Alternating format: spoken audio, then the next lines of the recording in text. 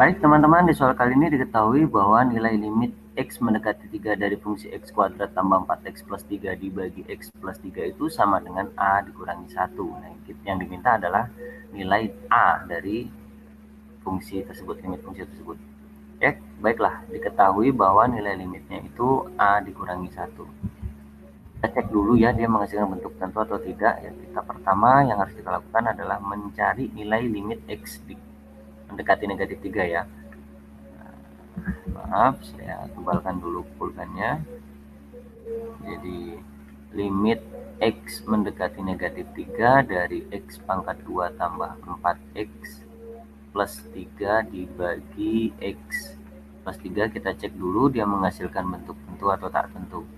Sama dengan negatif 3 pangkat 2 ditambah 4 kali negatif 3 ditambah 3 dibagi negatif 3 tambah 3 nah ini 9 dikurangi 12 tambah 3 oh ternyata 0 negatif 3 tambah 3 juga 0 berarti ini bentuk tak tentu. Maka kita faktorkan pembilang dan penyebutnya.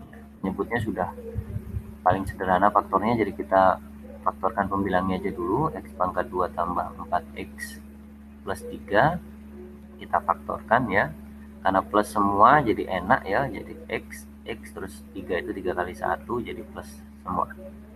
Oke maka limitnya itu berubah ya jadi limit X mendekati negatif 3 dari X plus 3 dikali X plus 1 dibagi X plus 3 nah ini X plus 3 nya boleh kita coret. Seperti ini. Setelah dicoret kita substitusikan ya kita substitusikan langsung jadi negatif 3 tambah 1 sama dengan negatif 2 maka nilai limitnya adalah negatif 2 di soal diketahui bahwa nilai limit adalah A dikurangi 1 jadi A dikurangi 1 sama dengan negatif 2 jadi A nya sama dengan negatif 2 ditambah 1 A sama dengan negatif 1 itu tadi nilai A nya negatif 1